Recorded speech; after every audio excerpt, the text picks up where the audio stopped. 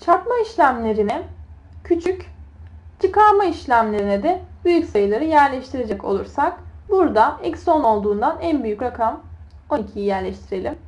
12 eksi 10'dan 2 çarpı 4'ten 8 gelir.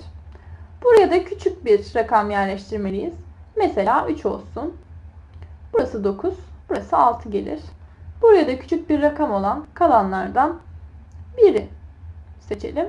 7 ile çarparız. 7, 4 ekleriz. 11 olur. Son olarak elimizde 2'ye bölünebilecek büyük rakam 10 kaldı. 2'ye böleriz 5. 1 çıkarırız. 4 olur. Cevabımız denizli.